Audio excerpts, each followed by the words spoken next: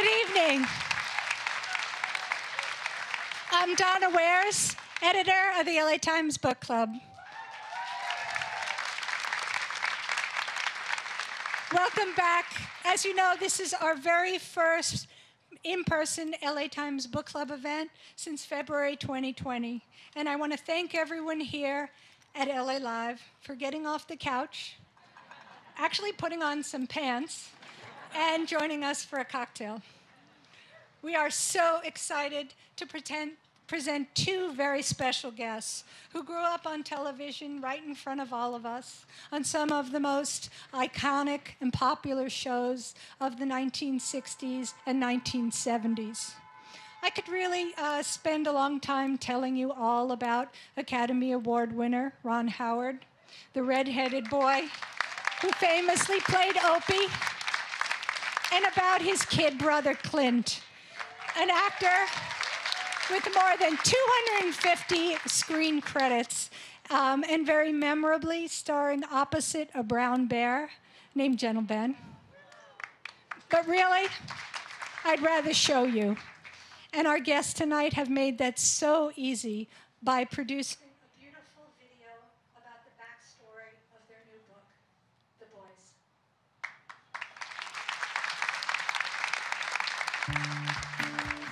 I have been fortunate to see my life turn out incredibly well, to not only realize, but surpass my dreams of making a living as a storyteller. It could have all been so different. My name could easily have been Ronnie Beckenholdt, and today I would be what? How about a farmer in north central Oklahoma, where my dad's folks were from? It's long hours and hard work, but fortunately, I have the company of my brother Clint, five years my junior. Ron talks in positive terms. He's a glass half full guy. I'm not sure I would have handled those harsh Oklahoma winters particularly well.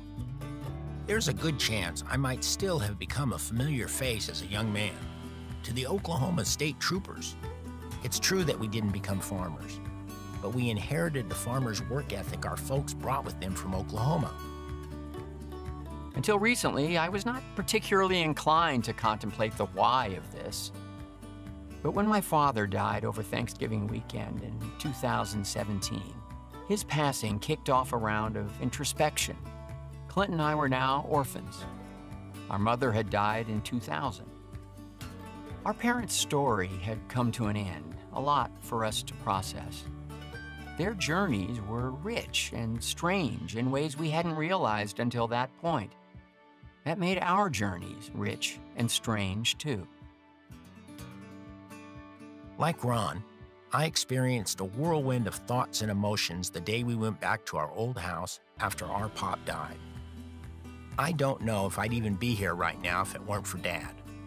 Then, as now, Hollywood was littered with cautionary tales. We grew up in circumstances that were profoundly unusual, dividing our time between attending public schools, being tutored on set, and working in an industry fraught with way more snares and traps than we were aware of in our innocence. Yeah, I guess we were different. We were grinders and scrappers. Showbiz may seem glamorous, but each battle is won in the trenches, with heavy doses of perspiration and preparation. Mom and Dad managed this feat with remarkable grace, navigating their boys through terrain that, by all rights, should have left us psychologically damaged. But, like Indiana Jones in that famous scene where he narrowly escapes getting crushed by a giant rolling boulder, we somehow made it through intact, ready for the next adventure. Ron and I decided to share our story of growing up as the products of these sophisticated hicks. Just your typical post war tale of a tight nuclear family whose two kids happen to be on TV all the time.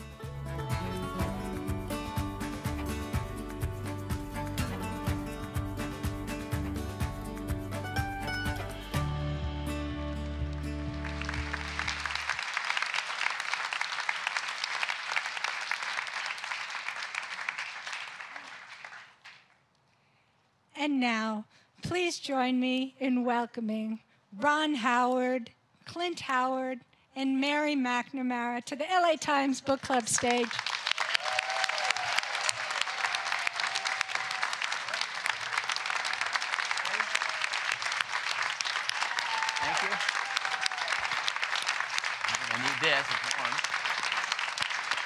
Thank you. Thank you. Thank you. Take away, Mary. Thank you, Donna. This is so exciting. Thank you. Uh, I can't believe it. well, uh, Kind of freaking out. I mean, there's so many people, and we're out, and it's not on Zoom, and it's so exciting. thank you for being here. I feel like, well, we're gonna have to come up with some stuff because you kind of just got it all from the from the trailer. You were thinking that. I was thinking that. Okay. Yeah, there's that question, right? that question. Whoa. Um, thank you so much for being here. And, and thank you both for all the wonderful things you have brought to our lives. I mean, looking at you, I am of an age where it's like, you are my life. It's like, it's really scary, actually. It's kind of like from Mayberry to, you know, Gentle Ben. I remember one of my older cousins had a Gentle Ben lunchbox that I coveted greatly. I hope she Uh, still got it. Uh, yeah, seriously. Absolutely. That's a good question. Um, and will she give it to me? Um, and then all the way through, and, you know, even now. And it's, uh, you know, and thank you very much for the paper, which remains one of my favorite. Why, thank you. I hear from say, we always go, that was such a good, so the whole chair thing, we still talk about that at an actual newspaper. Um, before we start talking about your wonderful book, I do want to ask you guys, as, you know, Hollywood elite, do you think we're going to have a strike? I'm like really nervous about this. Yeah, yeah, You do think we're going to have a strike? yeah. Oh, crap. Yeah. All right, well, I got to go. I hope Gotta not. prep some stories. I, I certainly hope not, but I, you know, I, I have a feeling there's. I mean, just from what I've gathered, there's, you know, there's a real disconnect, and that's, you know, kind of might be the only way to resolve it. right. And do you have any insights? Can you No. fix it, Ron Howard? I, like, No. I feel like you might be able to. No, and, uh, no. Get on the phone and say. it's uh, let's, you know, let let's hope not. Let's hope not. Okay. And do you have anything in production? I, right now? I have uh, I have uh, two different projects in post production, which would be affected. Okay. All right. Well, everybody say a little prayer that the producers come to their senses. Let's talk about the boys. Um, I love this book so much. I love this book on like 11 different levels. One, obviously, being the story of your very miraculous careers, but also it's like it is, as you say in your, in your reel, it's a story of family and it's a story of craft. You know, it's like a story of your parents handing down a craft to you, which is like just absolutely amazing. Um, you talked a little bit about the why you wrote it. Can you talk a little bit about how you wrote it? I mean, I have a brother. I wouldn't want to write a book. Well, Ron and I, uh, you know, once we got the idea to to do a book, uh, then of course we had to come up sort of with a proposal. So at which point we we sort of got together, we locked in on what we thought the rhythm of the book might be.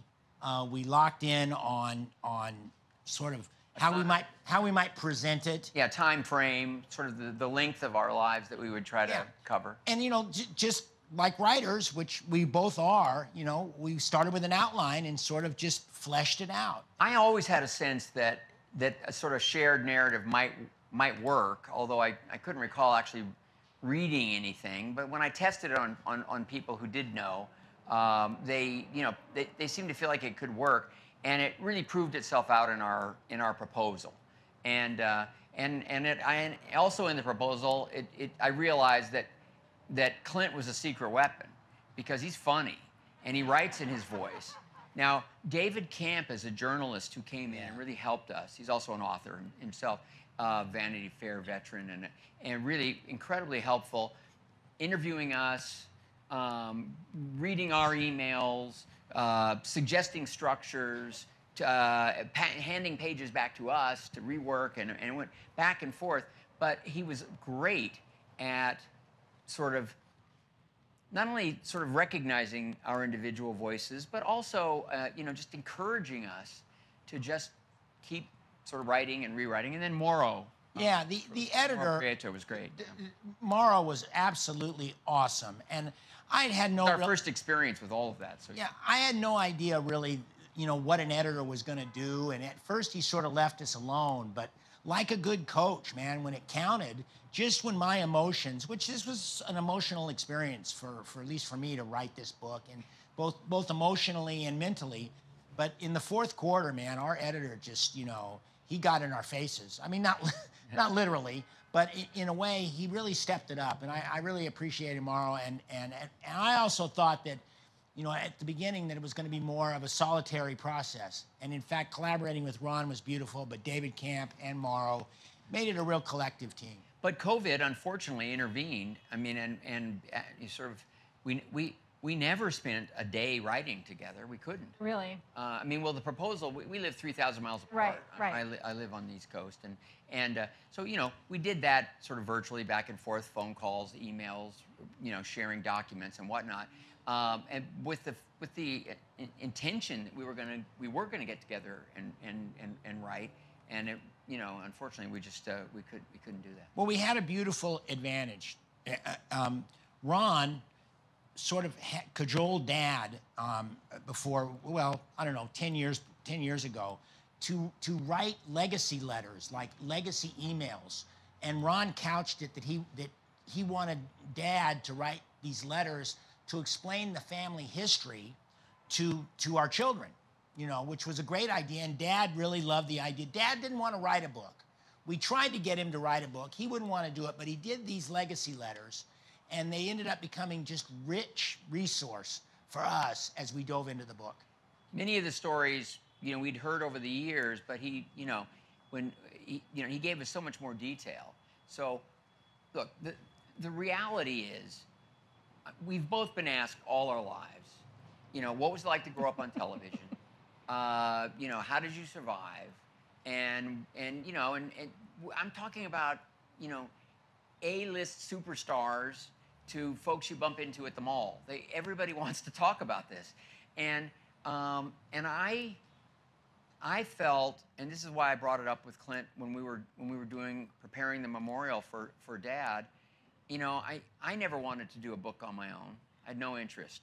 And, and, uh, um, and, but I did recognize, look, here's a chance to sort of use our history, answer that question for readers, in, in, you know, in a really thorough, fun way. Um, and, but also um, invite people to understand our parents, if their, their sort of their, their, their love story, their, the sort of the origin story of how a family changes course. Because that's what they did. We didn't do that. I don't, I, Clint said it a few times. I, I wouldn't have done, I wouldn't have done it. I, I you know, I, I, I wouldn't have said, there's a horizon, I'm going to go chase that down. That was not my nature. They did that. Mm-hmm. And uh, we really wanted to honor that, to celebrate that. And, and along the way, you know, I think it's a pretty good parenting book. I think there are a lot of object lessons. There are, there are some. You know, they're useful. I love your parents. Like when I was done with reading it, it was like, it was amazing. Um, I mean, it really was the, the not just the, you know, which many people have mentioned, the idea that they didn't take all your money, which right. many parents of young performers are seem to be incapable of doing. Right. Um, but also just that they, your father taught you how to act. I mean, he literally, I mean, he, he, you have a lot of detail in there about how he shared his method with you when he was a method actor and he, like, how you teach method acting to a four-year-old. I'll drop a name. I'm going to drop a name here. Uh, fairly early on, because one of the people that I, you know, sort of asked at one point, should I write a, do you think I should do a memoir? Was Tom Hanks, who's a good writer, and, and, and we're pals. And I said, do you think this is something I should pursue? I don't really have much interest. He said, well, one of these days you probably should, but my advice would be do, do, do your childhood, you know? That's what's really fascinating uh, he's one of those A-list superstars that likes to sit around at three o'clock in the morning and ask stories about, you know, ask for what was it like? Anecdotes for, about Barney Fife. Um, and, yeah. Uh, yeah, we're gonna need a few of those. Um, but so so, you know, and then I told him Clint and I were joining forces on it, and he thought that was a great idea. He knows Clint well. Well, we asked him to read chapters along the way, and he did, as a good friend uh, that he is. And uh, he said, "This is great because it's it's not only all the fun stuff we want to know, but what your dad gave you, it is an acting primer. Mm-hmm. Uh, those are great fundamentals, and it was it was basically actor studio stuff. Right. It was Stanislavski in the most simple terms, and and he knew how to make it digestible. But but here's the thing, he trusted us to be able to understand at five years old that we could recognize that this is make believe and yet somehow also understand that we needed to draw upon some truthful understanding of what the characters were going through, what Mike, what your our character was going through, and what the scenes were about. And he was right, and that's you know he he was right to be to do that. And most directors don't don't trust kids mm-hmm. to actually understand. They just want them to be performed. Well, and then he became what you call several times during the book the child whisperer. Even for mo- movies and shows that you weren't in, it seemed like a couple of times. They kept trying to hire him. And the only the, there's one the the Monroes was a television series that recruited him, and they they they made him a regular on the show. Right. And that they dangled that, and didn't have a great part, but he was you know he, he loved being on a series, and so he he did take on that. But Clint mentioned you know that we we had suggested that he write a book, and I even said, hey Dad, it's kind of low hanging fruit. Why don't you start an acting school? Everybody knows what you did for Clint and I. You know, you could you could impart that, and it's probably make a lot of money at it too. And he said, no, I don't want to write a book, and I'm, I don't want to be an acting teacher. He said, I I worked with you boys because you're you're my sons, and I thought I had something I could I could share with you, and it was fun because we had this in common. But I have no interest in, in, in, in working with anybody else. I'm too busy trying to get jobs as an actor and a writer. He could have taught sex education too, because he was really. yeah. I mean, that's what I love. Is like you ask him these questions all through the book. There are like these little, you know, awkward encounters as there are with teenage boys and girls, and it's like he just answers the question and moves on. Dad was always Amazing. remarkably straightforward with us uh, in terms of the business, but also just in terms of life. I mean, it was I, boy, so vividly remember going into bathrooms with him on these studio lots. And back in the days, it was a very male-dominated sort of industry. And these bathroom walls were just filled with wonderful pictures I mean, diagrams and stuff. And of course, as curious kids, you know, what is that, Dad? And Dad was very methodical. And he never BS'd us. He would always give us the answer. And it would take a long time. and, uh, you know, well, also, too, I, this process of writing the book, I, I so tried to channel dad and mom as we were going through this process of, of you know, thinking back. See, one, one thing I had was I had memories of me thinking about, you know, when I was, I was thinking when I was nine years old. And now I can go back and, and analyze it and go, boy, I was thinking like an idiot, you know? But, or have a reflective moment and go, well, that was actually, for a nine year old, I was pretty smart. And they gave us so much confidence. I remember having, I was, I remember being so confident as a young actor. And, you know, it wasn't self-made. That came from a great environment. Not only did I have mom and dad mentoring me and being my parents, I was five years young, five years younger, and I had Ron being this great role model. I watched him wade into the business, and I sort of, you know, got along and you know behind him and rode the wave.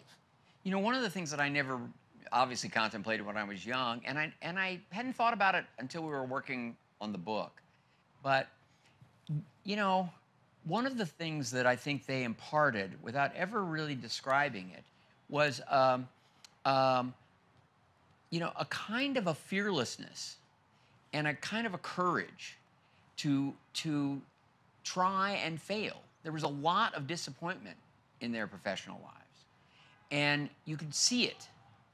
And you could also see that because of the the way they they faced it, that that wasn't crushing. That that that didn't kill you. That was just a disappointment, and it was a separate thing than your life with the people that you loved. You know, and that was that was powerful, and I think that it without that, I don't think I would have had the the sort of the the nerve to leave acting and transition into directing to believe that I could really do that to face those frustrations and fears and and along the way in my own way I've tried to take creative risks um, because of them and because of something that didn't wind up in the book but uh, when I was doing a TV series with Henry Fonda He he said at one point, he said, as a creative person in this business, if you don't feel like you're risking your career every couple of years, you're not really trying. And you're not and you're not respecting the medium or the audience. And I've I've to, in my own way tried to take that to, to heart as well.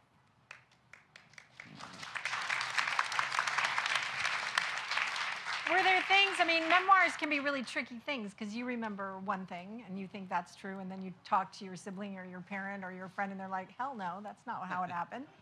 Um, did you guys discover things? Did you, I mean, one of the things that I really like about the book is like every once in a while, Clint will bust into your narrative or you'll bust into his narrative and like sort of, it's almost like you're reading it and then adding a little marginalia note or something. Well, the five years difference was was really perfect for, for, you know I had a different perspective.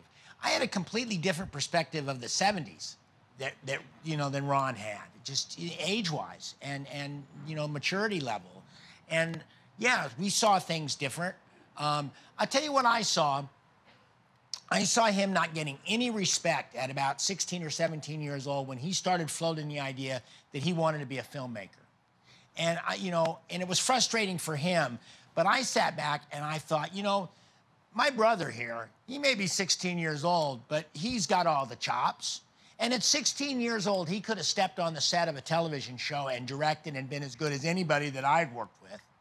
And and you know, it it's been it's been so beautiful for me as an adult eh, to to watch him grow, not only change careers, but then flourish as a director. And I've been so proud that he has kicked it in the pants. you know, and and, and he hires me once in a while, which is also really pleasant. That's, uh, that's the easy part. That's the easy part. The uh, you know I the um, the, the structure, the approach was was the sort of the, the the the shield against that ever even being a problem. It suddenly flipped it around and it was an asset. So we recognized that that was going to be you know part of part of the fun of it. Uh, one of the things that that David Kamp also did was because it was kind of awkward to go back and like interview people. You know, like Noel Salvatore, my best friend from high school, is here. He's in the book, um, and um, but David actually got together with these the Cordova Street boys, the guys that, that you know were my, my little gang, and uh, and spent some time and and came came away with some observations that he could then bounce uh, you know off of us. And he interviewed a few other people, including Henry Winkler, which was uh, which again was really useful, um, and uh, uh and but and would have been a little awkward for us. Well, yeah, I mean that that part of the book where you're discussing your uh, career on Happy Days, and you go into some, you know, that it wasn't all as happy as the title might imply. That you know, as Fonzie grew as a character, and you started feeling like, a, this is maybe not what I want to do, and I certainly don't want to do it on a show that is shifting towards another character. Can you talk a little bit about that? What that was like to sort of, was that something that you had thought about before, or was that sort of something that sort of came out of going well, back to tell the story? I'd been a bit reluctant to take to do the show but you know, it was a great job, and and and I've, I've grown up, you know, with that sense that work begets work, and you don't sort of turn your nose up at a at a at a great opportunity. It it um, it was never really that the show was shifting or that my part was changing. That wasn't ever really what bothered me. We had a great ensemble. Jerry Paris, our director, was inspired. We had this great you know, sort of, uh, you know, um, esprit de corps. Henry and I always got along great. And, and he was like, uh, you know, almost immediately became almost a big brother figure for me. He's a very inspiring guy, very intelligent and funny, and loves loves the, you know the the art of acting. So all of that was great. It, honestly, it had to do with the media, and it had to do with the studio and the network and their treatment uh, of me, I felt suddenly disrespected. Mm-hmm. And, and, and that, that, that sort of my value in their eyes was reduced. And look, in retrospect, it was a real quality problem. And I could even recognize that then. Tremendous to be on a number one show. I knew that. Um, and, but, but, but it, it, it was a test. It was a test, and it was eating me up in a lot of ways because, again, it wasn't exactly where I wanted to be. Right. It also fueled my ambition. So I was able to kind of convert it, um, and um, um, and I began making films again on the weekends and, and, and, and doing that sort of thing. And, but it also provided opportunities, the leverage ultimately to get my first directing going. So I always knew it was a double-edged sword, and it was a wonderful thing. And I stayed with the show until my contract was up. And it was, you know, one of the most difficult decisions of, of my uh, career was to actually leave the show when it was still going great. And these are all people that I uh, loved, including Marion Ross, who's here, by the way. Uh, Marion. See. Uh, who? The. Uh, can I tell people how she describes her age? who describes herself as 93 fucking years old. Oh my God!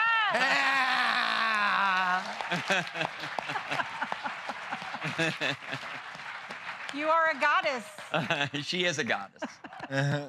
She was a real glue on the show. We were talking backstage, but she she knew to sort of look around. Garry Marshall and Marion Ross had everybody's sort of psychological ba- backs and understood how to kind of sidle up and get people to get people to talk. And uh, and so in some of those frustrations, those periods where uh, you know I felt like God, my hair's falling out awfully fast. When did this start to happen?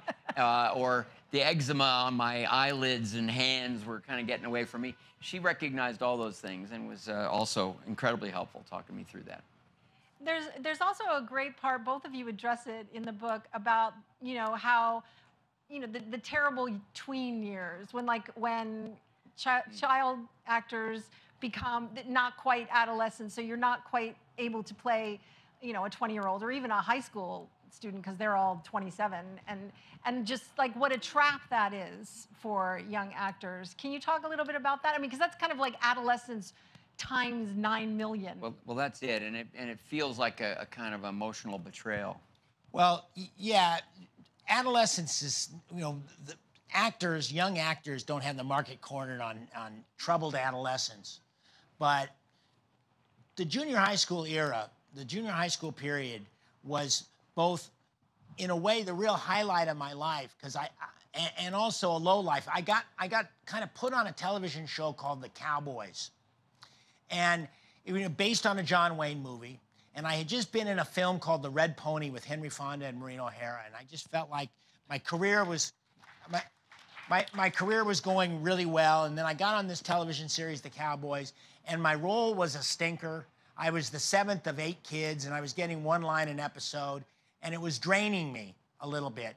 I had one huge advantage, and that is in junior high school, I developed this thirst for journalism. And that was brought upon by my journalism teacher, Mr. Campbell. Mr. Campbell, who I had in the eighth grade and immediately loved the idea of writing. Dad had been a writer, but, but Mr. Campbell introduced me to the Fourth Estate and, and tight, writing a tight lead and being a good, solid journalist. And he inspired me so much. And he was by far and away the best educator I ever came close to encountering. Now, this is sort of special because I remained friends with, with Steve Campbell over the years, and he's just absolutely a superior human being. And in fact, today is Steve Campbell's 80th birthday, and he's here tonight in the audience.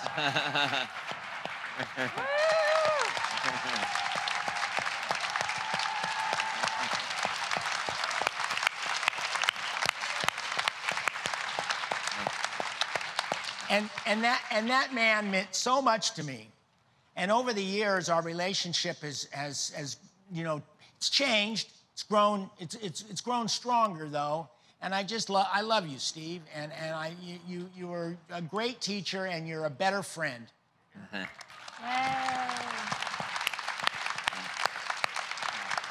But Let's hear it for the journalism teachers. yeah But Oh. I, uh, you know, in talking about the, the, you know, that sort of that period of time, I think in some ways I might have even felt it more than Clint did, because you know, the Andy Griffith Show had been gone out as a number one show.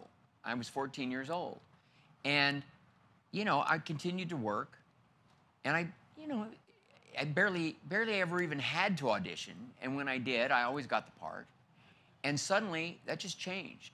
Like, Right. 15, you know, 18 months later, two years later, and I went for a stretch where I didn't work for I don't know a long time, nine months, ten months, uh, and and I, it, it was really destabilizing, and that coming along with sort of adolescence, with all of those insecurities, was uh, you know I, I, I again I was able to convert that into a kind of focused ambition, a kind of a, and I again I think I I recognize this in my dad a sort of uh, you know it, it doesn't have to be easy. If it was easy everybody could do it.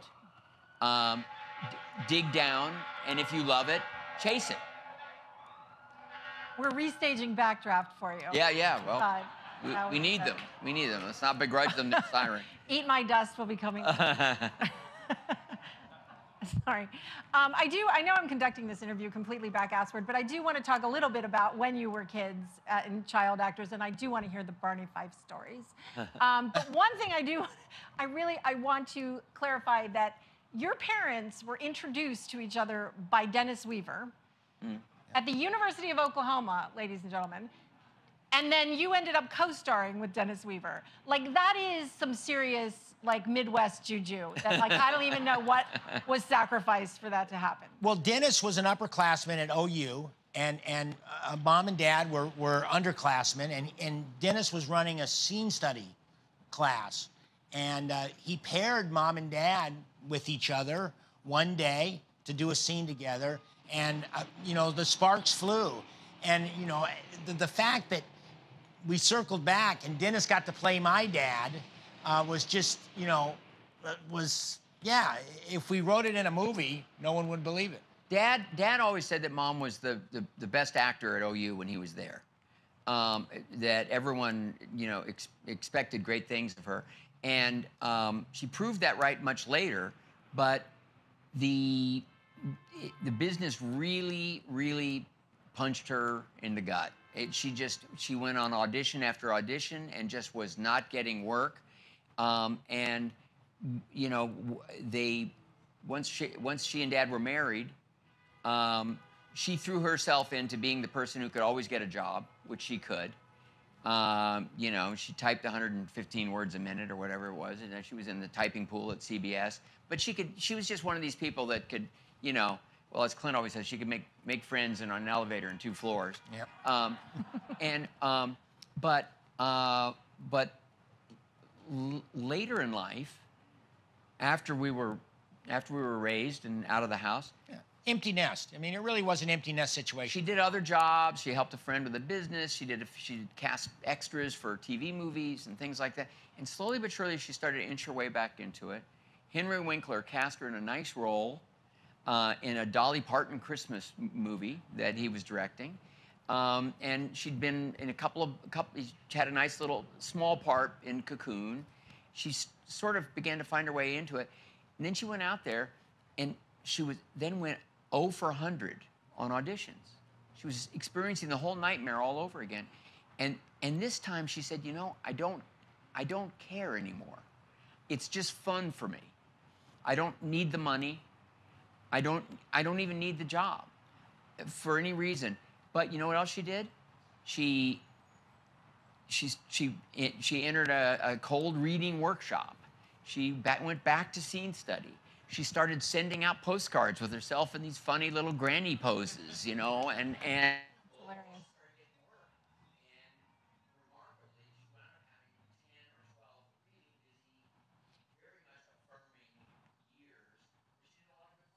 So,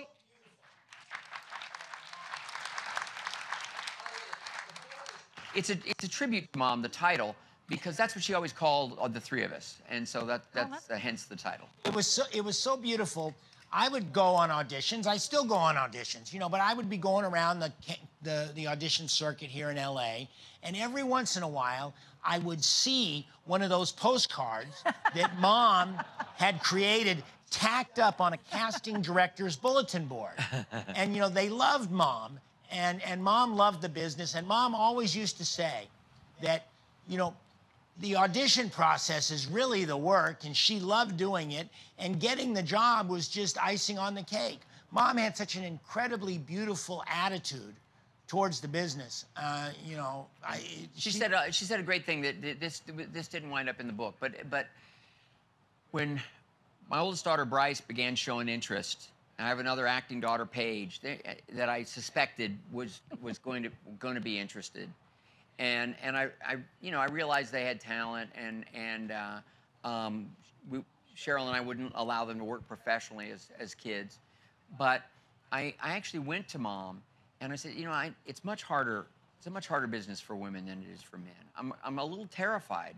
Should I be just dissuading them? I, you know, I, we moved to we moved back east. We moved to Connecticut so that they wouldn't feel like they were sort of inculcated into the world. And she said, no, you can't discourage them. You cannot do that. She said, Look, when Rance and I were doing summer stock together, I, I've, I've kept up with everybody. You know, of the 30 people that were in a company, you know, only four of us stayed with it. The rest found other things to do with it. But I'm telling you, not, not a single person um, regrets having chased the dream. And if, if you try to subvert that, uh, that, that, that dream, you're, this is, that's not good parenting. Uh, and, the, the, and, you know, and, and uh, I followed her advice. I'm glad I did. Can you, can you tell the Apollo 13 story, though? I've, I've, I've yes. heard you tell it before, and it's in the book. It's a wonderful story. Well, I, I love working with Clint. I love working with Dad whenever I could. Um, Neither of them ever hustled me for a gig. Nobody ever said it got anything for me. You know, if, if I cast them, I cast them. If I had something, great. And, and it's just, that was just the way it worked. But I was getting ready to do Apollo 13, and there, a new John Sayles had come in and done a terrific rewrite. Um, and, um, and my dad read the rewrite. He, I, he, I always ask him to read scripts, and um, right up to the end, he always could give me great notes.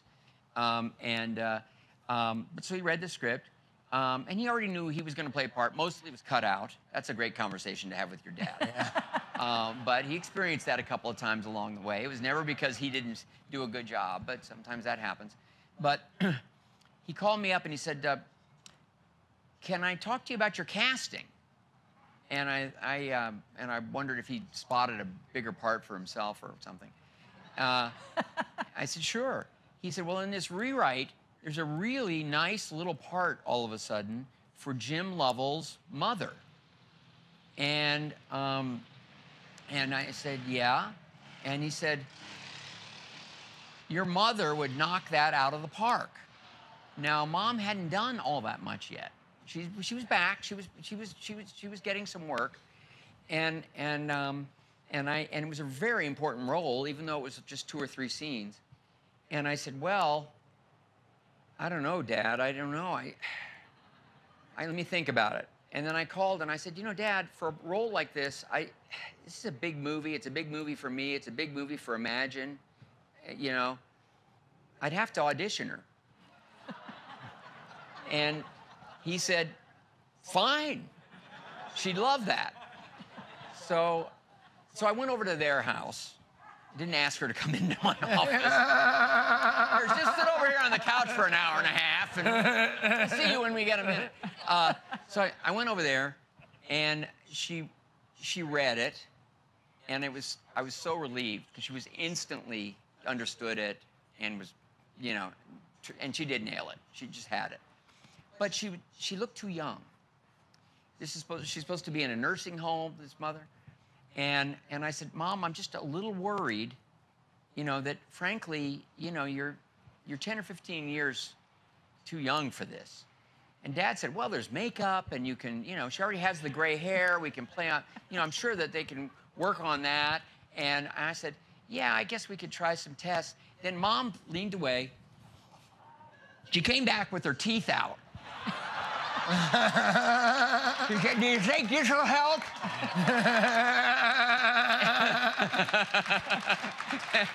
I said, You got it. You're cast. You're in. And she was great. She was great in it. And, and when she said to, to Neil Armstrong, Are you with the space program too? Just, I mean, she knocked it out of the park in that picture, you know. So everybody was in. You were in it, and you was your Oh, yeah, dad he had a good part, And yeah. Your dad was in it. Yes, yes, he That's played amazing. a minister. That's yeah. amazing. Um, we are going to get back. We'll keep saying, let's talk about the, the young years, and then we go somewhere else. But let's talk about the young years, um, just really briefly. Um, I have to say, the the Red Pony. When I told my husband I was interviewing, and I said, "Oh, he was in the Red Pony," and like my husband started to cry, just from the movie. And there's just this. uh, You have this anecdote in there about the buzzard, about like. That's just like insane. Can you tell that story? Yes, well, i- i- in the film, um, that that that there was a scene where a- the colt dies, and I kind of rush down to this ravine and I see the colt and he's laying in this stream, and the buzzards are, are on the colt, and um, the scene is written to where Jody grabs one of these buzzards and and and to get him off the the colt kills the buzzard. And I, at first, I assumed that it was going to be some sort of, you know, puppet or not a puppet, but a dummy bird. And the director, Bob Totten, and this would never be done today at all. But somehow, Bob Totten had it in his head that we were going to, I was going to take out a real buzzard. And that somehow they got the uh, Humane Society guy off the set. And it bothered me at the time because, listen, I had worked with animals. I'd been in Gentle Ben, raccoons and the bear and all sorts of critters. And, and, and I was being asked to end this buzzard's life. And, you know, Dad and I had a long talk about it. And, you know, the, the whole idea of the, the food chain. And, and they, they assured me that this buzzard was going to be food for other animals and stuff. And, and I was right in the middle of making this movie. And it was, you know, I knew it was an, an important thing for me to do, or so I thought. And, and by God, you know, um, they put a flat rock out there in the stream. And when the time was right, and then they, you know, Bob called action, I raced down, I grabbed this buzzard, and I, I beat him and I killed him. And I thank God, I, you know, it only took a couple of whacks, you know, because I was afraid I wasn't going to be able to do it. And, and I, I did this deed, and I'm not, I'm not real proud of it. And like I wrote in the book, you know, I love that movie. And for me, it was the highlight of my uh, juvenile career. And yet that scene, it's hard for me to watch because, you know, that poor buzzard didn't deserve it that day. And, you know, I don't know, uh, hopefully God uh, gives me a pass on that one. How old were you? You were just a child. It's like, I was, I think I turned 13 years old at the time. that's like that's just I mean, that that just blew my mind. It's like if anybody thinks that being a kid actor is easy, yeah. just well, it's that. one of the fascinating things, um, eh, which I, you know, I just, again, I don't look back all that much, but it was really interesting to recognize the cultural shifts within our business, um, sensibilities. Uh, not just our business, but the, the, Right. the, the way in which change has reflected itself within the business. I am so grateful for it. I don't look back on that aspect of it with one bit of nostalgia. It was toxic masculinity. It was, um, you know, rules like that being overlooked. Um, and uh, and I'm, I'm, I'm, I'm so grateful that we've, that we've, you know, that we have and are struggling to, to, to, to work through that and grow, and, and grow out of that. But it's also interesting to recognize how little the process has changed in its purest form. It is about connecting ideas and themes using entertainment values, genre discipline, um, to convey these ideas to an audience in a, in a memorable way. And it boils down to, you know, um, actors, that writers writing, actors acting, directors Right. directing, and trying to that creative problem solving. And that fuels me to this day. It excited me as a little kid. You could feel the energy. It was palpable. And it's really what I, I live for. I love, I love it as a collaboration because it, it just continues to be great. When I was doing uh, Cocoon, uh, which was when did we shoot? 84, 83, 84. Um, the uh, we were there in St. Petersburg, Florida. There was one small speaking part that uh, we hoped to find locally, and we did. We found a guy. I can't remember his last name. Charlie. He was 96 years old. Charlie was still driving a car, and um, and and Charlie, who had been too old to serve in World War One, um, had had at one time been an actor. And I said, "Well, when was this?" And he said, "Well, it was before movies left New Jersey." and and there had been a thriving business in New York and New Jersey, and then it, you know, it sort of went first to Arizona and then to California, and um, he just didn't want to move west, so he became a salesman, and and that's what he did. So we're sitting around, and Charlie did fine. You know, he had a few lines, and, and he was terrific, and and I was talking to him, and I said, "Well, Charlie, this must have really, really changed." He said, "Nah, not really." kind of, kind of the same old bullshit. Hurry up and wait. he said, he said that he said the only difference is that, that you know now, now you got to shut up when you roll the cameras. In the old days, we didn't have to stop the card game. and and uh, but uh, you know, so the you know, I I do get sort of excited by the fact that it probably hasn't changed ever. You know, once people started trying to put on productions to convey an idea, I think I think that same process of discovery and and um, and sharing with an audience has always existed, and it continues to excite me. I think one of the things that's so wonderful about the parts uh, where where you guys are writing about um, the Andy Griffith Show and Gentle Ben is that it's described. You describe it as children because you experience it as children. So like, there's this wonderful bit about all the sweaty people that you've had to deal with, like how much Johnny Cash sweat. I mean, like you've been sweat on by some of the greats. Yeah. It's like I was like when I was getting ready, I'm going, well, I- will I sweat? I don't know. Ron Howard seems to really notice that. But I mean, it's not just that, but it's just kind of like the kid's eye view of like what was happening.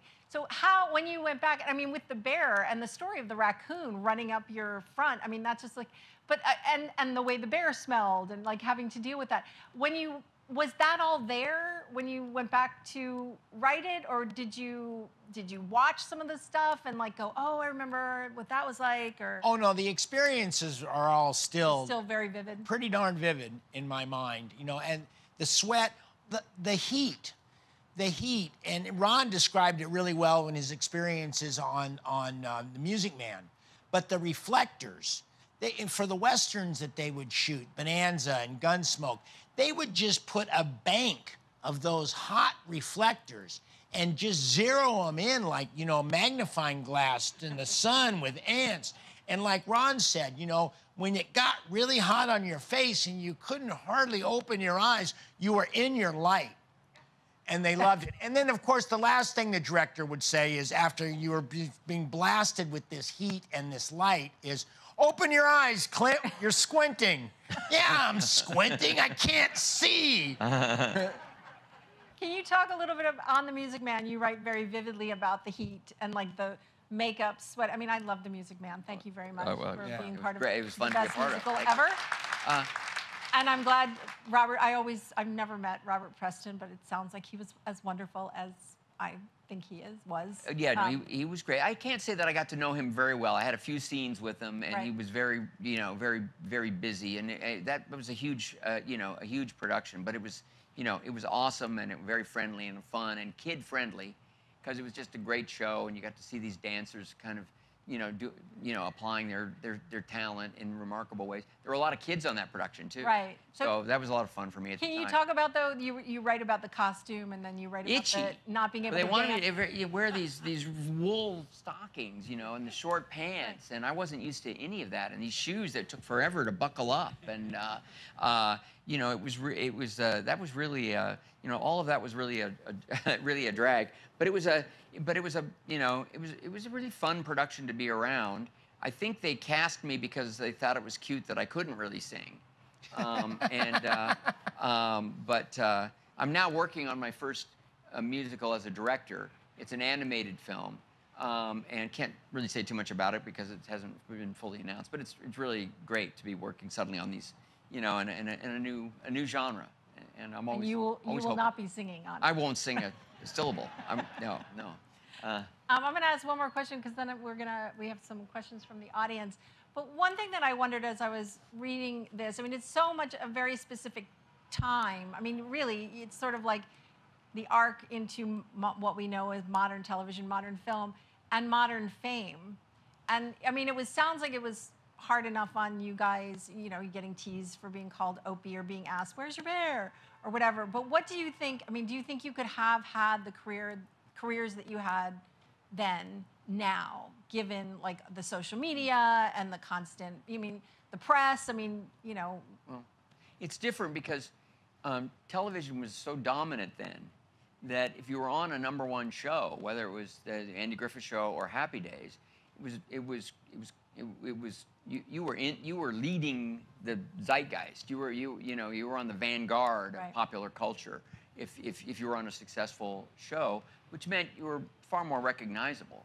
You know, when when when Happy Days really broke through and Fonzie Mania kicked in the way it did, it was it was it was like being in a boy band or something. You know, it just about doesn't happen with television shows um, or movies uh, anymore.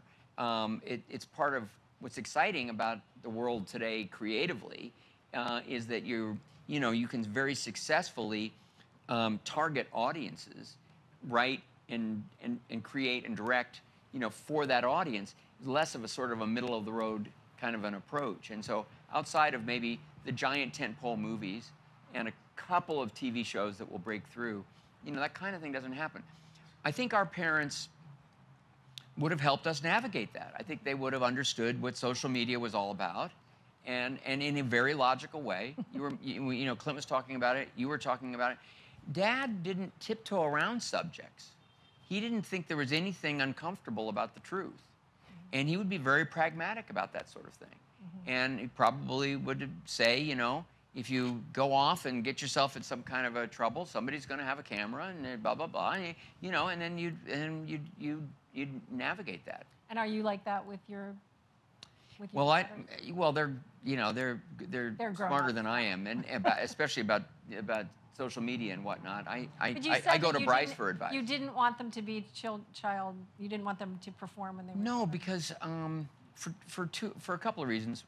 F- first and foremost, we have four kids, and I was incredibly busy, not only directing but also as you know co-founder of Imagine Entertainment. So throughout their entire lives, I, I've I've been on a you know on a very very demanding schedule. Cheryl is it was a AFI writing fellow and continued her writing along the way. So we were both very very busy we didn't have time to do what I knew that it took to be a great parent to a child performer, an actor. Mm-hmm. We, we couldn't devote that kind of time to one child. And so we recognized that. Also, I felt like um, it would be unfair. By, by the time they came along, you know, uh, Opie as a character was, it was like Shirley Temple or something. It was kind of, it was mythologized. And, and I, I felt like there was, there, were- you know, there was just no reason to expose a kid to that kind of comparison, um, no matter how great they might be.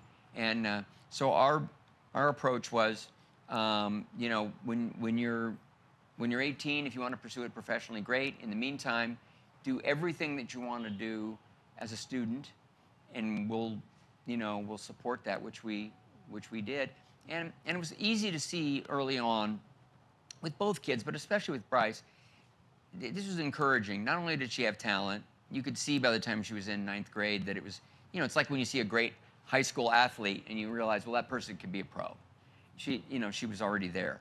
But but the other thing is she she she didn't care about opening night and getting the roses on stage that the parents brought up or whatever. She she liked rehearsals.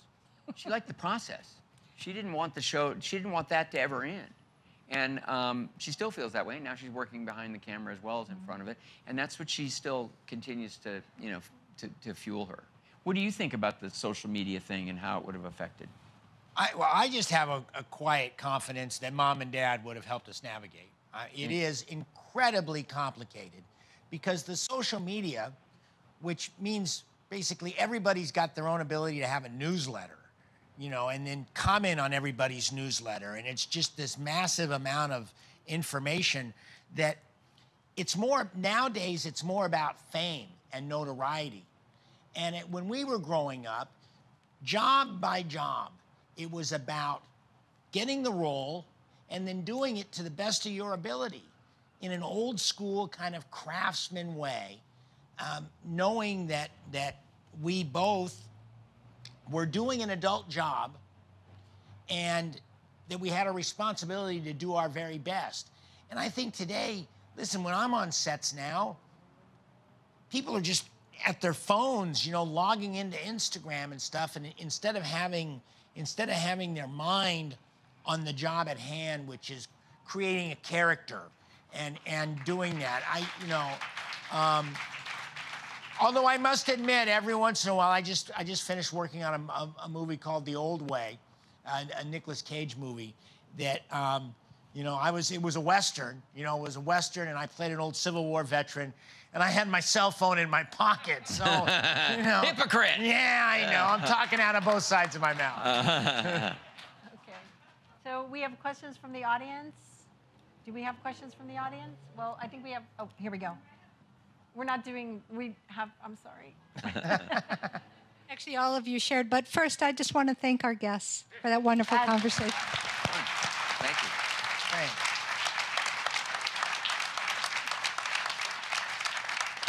Thank you to everyone who shared their questions. And I'm, we can't ask them all, but I'm going to pull out a few for our guests. Um, our first question comes from uh, someone in the audience. Uh, she sent this ahead of time by email, um, named Patsy. And she talks about how she truly enjoyed watching the Andy Griffith show during the pandemic and said it was really good therapy for her. So she says thank you very much. Um, she shares her favorite episode, and I'll tell you what that is. But first, um, did you have a favorite episode from the Andy Griffith Show, and why? Uh, well, there are a couple of episodes that people really, uh, you know, that re- resonate with people, and a lot of the Opie episodes were dramedies. You know, they, they, they weren't all, you know, rarely the broad, zany episodes. Um, and uh, so there, you know, one Opie the Birdman is well regarded, and and I, and that's the one where I really and I write about this in the book, mm-hmm. where I really really cried on screen for the first time, and I felt it and understood it. And my dad helped me get to that emotional place, and it was sort of a rite of passage among, among the other actors, and I'll I'll never forget that. But my favorite episode was actually one that my dad wrote the story for, um, and it was based on a, on an event. It was a little league game and in the game, uh, Opie, you know, tries to score and is called out at home by Andy, the umpire. And Opie feels like that that was wrong and, and a terrible call and is very upset. And that had actually happened to me at a birthday party where I thought I had hit the, on my birthday, the game winning grand slam home run, and dad called me out at the plate. Um, he was wrong. Oh, he blew man. the call. Yeah. Uh, but that happened. Hey, hey. But he, he wound up uh, writing that story, and then somebody else wrote, wrote uh, the screenplay. So that remains my, my favorite episode. Okay, I well, he- here's Patsy's episode. I'm sorry, I got to get Patsy's episode in here. Um, she said her favorite episode is the early one about the slingshot, Mama Bird, and Opie caring for the babies, being ready to be released. Well, that is the Opie wild. the That's- Birdman. That's the That is- that Birdman you Opie brought up. So Yeah, yeah. you both have the same one. Sorry, Mary, go ahead. I just wanted to say you, you talk in the book, and I think Clint does, about like that you guys took pride in that you didn't use the glycerin tears, that you I Howard used Boys later. cried real tears. Yeah, I, Clint stayed with that. I, at a certain point, I shut that down. Oh, really? There was a certain point where I was, I was uh, as a young adolescent, I was, I was too embarrassed, and I honestly just, I, it was, um, it was like I'm not going to give them that, and uh, and and so they, in fact, I, I'm sure this isn't allowed now. The ammonia capsules. Yeah. They, they, they, they we, would give us these ammonia capsules, which you take this horrible hit, and uh, and then your eyes would start to wa- water. And if you were in an emotional space, which I could get to, I, I just didn't want to feel the burden of having to generate that and go to the place where I would where I would um, you know give give that up. It was just a kind of a male adolescent, you know, uh, pride thing. Well, thank you. Uh, okay, so our next two questions are similar, so I'm going to ask them, and they're for you both. I'm going to ask them both together because they're similar to round. Well, the first one is from Kara, uh, and she she asks both of you, "Have you ever wanted to leave the business?" And the second uh, question, uh, and this member of the audience didn't put their name, but uh, their question is, "Did you ever consider rebelling and not pursuing acting as a career?" So, um, Clint, maybe you start us with that. Well, listen, yes, frustration, yes. Uh, for some reason, God gave me a Teflon psyche. And, you know, throughout my childhood going on auditions, I, I was much more of a freelance actor than Ron was, and I would compete a lot. And yeah, it would piss me off. But listen, I, I loved the process, and I loved acting, and I loved being around the people. So, you know, listen, psyche, I would dust myself off and get back in there. And in terms of rebellion, the closest thing I ever had is in junior high school with Mr. Campbell. I really considered um, like zoning in and being a sports writer. I thought that possibly I might just pitch the idea of acting and be a sports writer. The problem is I did a little research and I saw that sports writers at the time, they hit a glass ceiling awfully quickly. And, you know, listen, I'm, I'm a practical man and, you know, I'm, I'm not an amateur anymore. I gave up my amateur status 59 years ago. So as a professional, I thought, well, listen, you know, I love the business. I like what it does for me, and I like the fact that I can make some money at it. And, and no, I've never considered really rebelling and, and, and, and telling the business to fuck off. I, uh, I never, I, I always wanted to do it. I loved it. I always loved it. And I, I think that's another reason why I was able to navigate it emotionally because I, I wasn't looking for a reason to stop doing it. I, I, um, it was, it, it, it was very frustrating when I began to hit limitations and walls, but, uh, but I did recognize early on that I really wanted to be behind the camera. I really did not, I, I, I enjoyed acting, I enjoyed being a part of it, but I, even then I felt a little limited.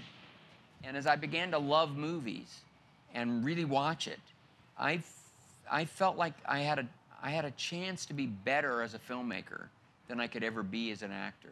Um, and I, I, I really, uh, I really wanted that. I talk about this in the book, but when we were doing the very first Happy Days pilot, uh, when it was an ep- spin-off of, uh, of, uh, of Love American Style, I actually had the envelope and uh, where I was accepted to USC as a cinema major. And, uh, and I opened it, and the first person I showed it to was Marion, who was there playing my mom in that first pilot. And, uh, and, and so even then, at 17, you know, my, my, uh, that, that, was, that, was my, that was my dream.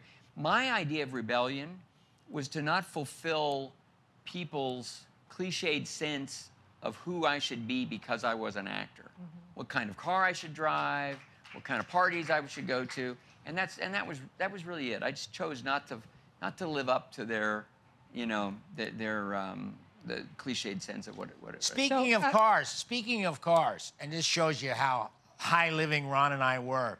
His first car was a Volkswagen uh, Beetle, right. and my first car was an AMC Pacer. Oh my God. So I want to go back to something you just said that when you, um, you know, figuring out should you go to USC, that's going to resonate with a lot of folks here. And and your TV mom, you asked her from for some advice. Um, what advice did Marion give you? Uh, um, she she was just always so supportive. I mean, she she hundred percent. It made sense to her. She knew I'd grown up, you know, in the business, and she and Henry Winkler were always the two people on the show who were always saying, you chase your dream, you go for it. Um, and, um, you know, on the day when I left the show, and I wrote about this as well, I called the set, and I did. I talked to I talked to Garry Marshall, and I talked to Henry. Henry was kind of representing the cast, and uh, and and Henry said, "You're going to be great. We're going to miss you. But go with God." And uh, and you know, I always felt that from everybody on the cast. They and look, I must have driven them crazy I mean, I, I, had already directed Marion, and then I was doing shorts with Donnie Most, and uh, talking to Anson Williams had ideas, and was, but but I was just non-stop with this whole directing thing. I mean, I, I must have been a real pain in the ass. True? Okay, our next question um, is again for both brothers. What experience did you share as brothers that most helped create the special bond that you have today? Sports. Yeah, sports. Sports. My my first memory is is waking up in the morning. I must have been three years old, so making him eight. He had learned how to read. He would get up early. He would feed the cat, go get the LA Times paper, bring it into the hallway where there was a floor heater, lay down and start reading the sports section. And I would climb on my brother's back and and I would I would he would regale me with stories about Don Drysdale and Sandy Koufax, and he'd read the box score. Tommy Davis got two hits, and and I still, honest to God, I still remember the warmth of being on his back and having him teach me about baseball. And we've all. and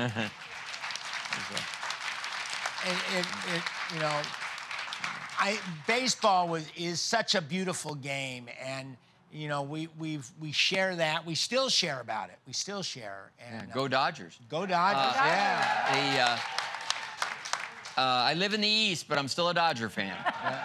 The, uh, you know, and later, um, I mean, so playing, and and you know, Clint was had has great hand-eye coordination, and from an early age, he was good enough that he could play in our wiffle ball games, and he could play, you know, in those, and and the and my friends would sort of let him join, and he was just good enough to hang in there and be a part of it, and and so you know, he became a really good young uh, athlete.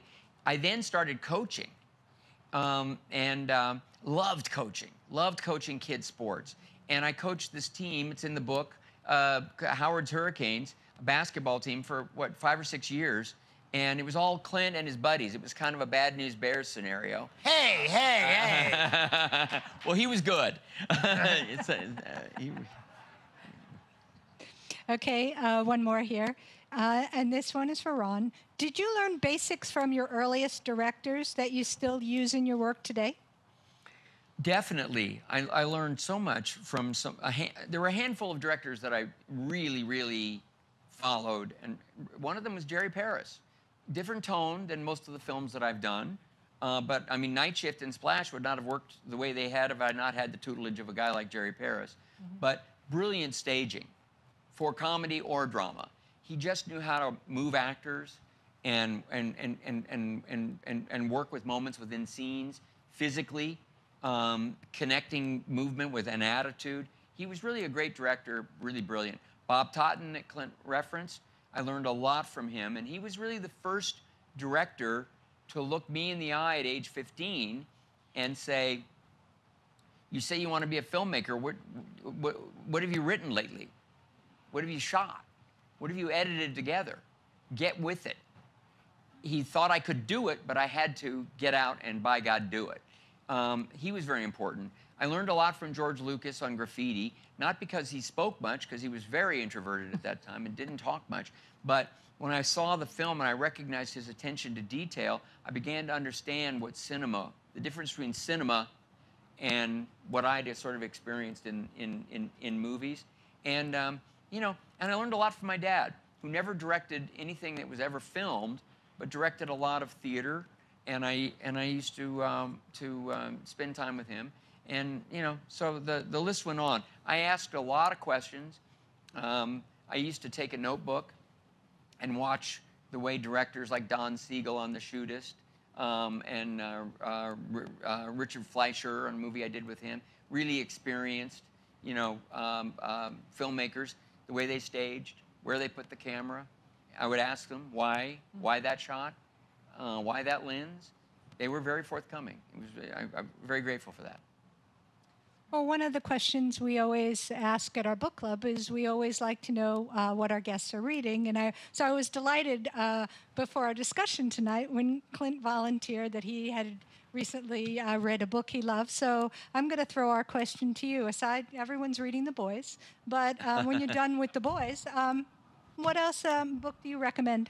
Well, there's a, a friend of mine, a business an acting friend of mine, uh, who uh, has has had the most interesting life in the world, and he wrote a book that is so riveting and it's it's Danny Trejo, and he wrote a book called Trejo, and it's about his journey from from being a juvenile delinquent into the prison system, and then by God, with the grace of God, he ended up in show business, and and and has lived a, a beautifully clean life for now I don't know 40 something years. So I would certainly I found it a page turn. My wife Kat and I, who both know Danny, um, we we it's a page turner, and I certainly recommend, especially if there is recovery in in anyone, any of your family members.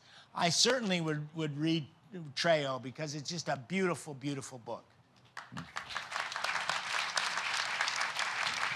Ron, how about you?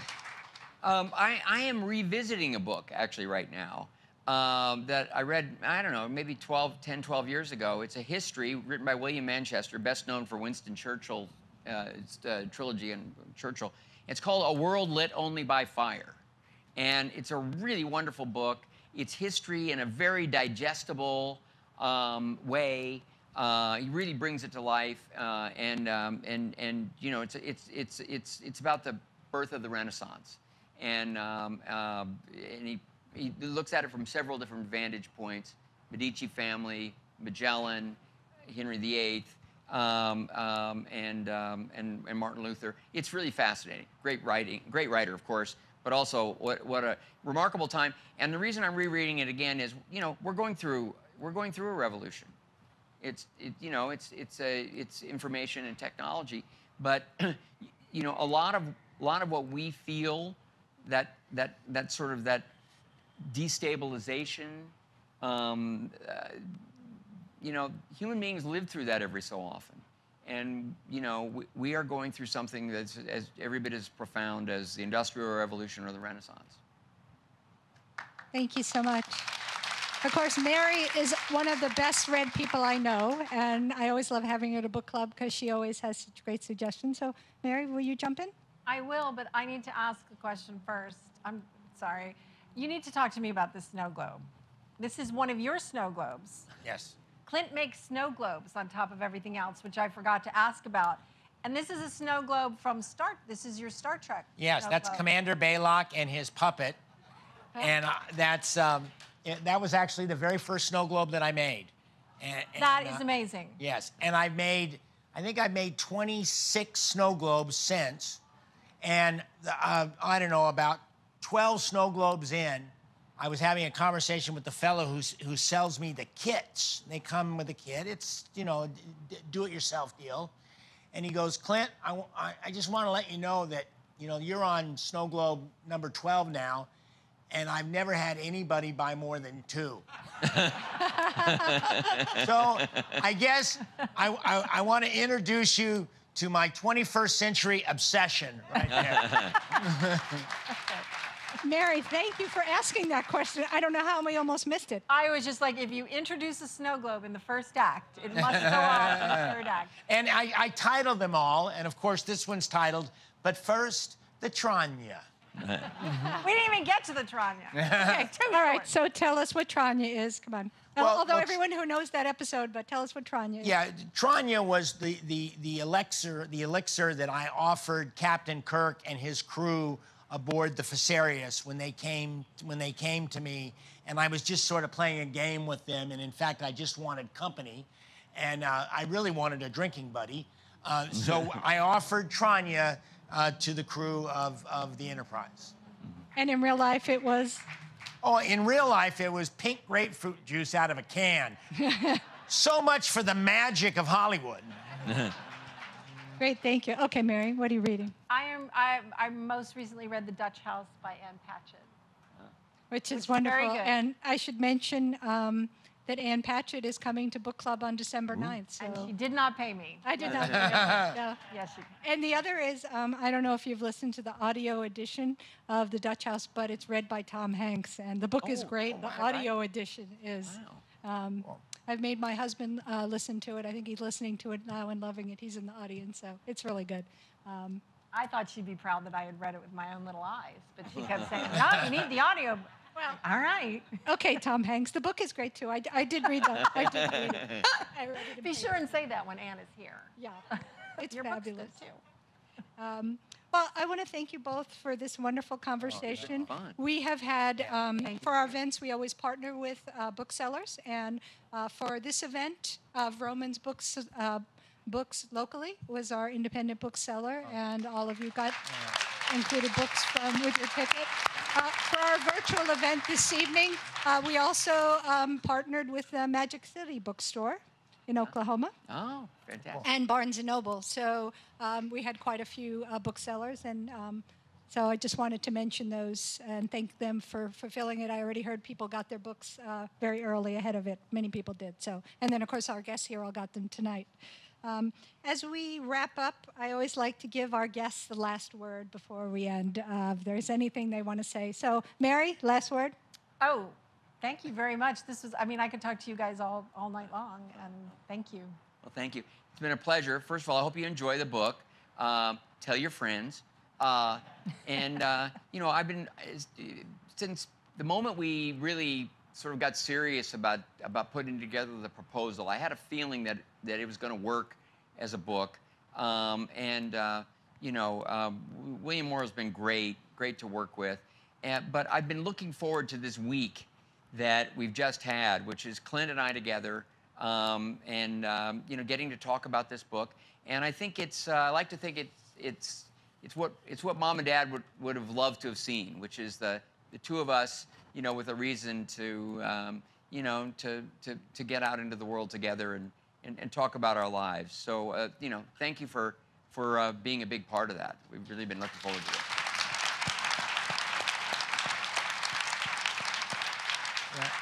And I too want to want to thank you guys. You know, listen, without an audience, we're nothing. You know, and and also to mom and dad again. eh, Um, boy, oh boy, what what gifts they they bestowed on both of us and and and me and and the gentle and kindness that they they gave me. It was you know unparalleled. But also, I want to make one more little pitch. You know, Tom Hanks reading an audiobook. Uh-uh. Ron and I read this one. and and I've heard I've heard some of his, and I know I heard all of mine, and uh, and and I you know I, I think it's effective, and it is. You know we uh, we're we're listen. We got to admit it, Bud. We're we're kind of unique creatures. Yes. And uh, I hope you guys enjoy, and and you know God bless you all. I really appreciate it. yes. Thank you for coming out. Yeah. Thank you so much. Thank you, Ron Howard. Thank you, Clint Howard. And thank you, Mary McNamara. And good night to our book club readers. Thank you.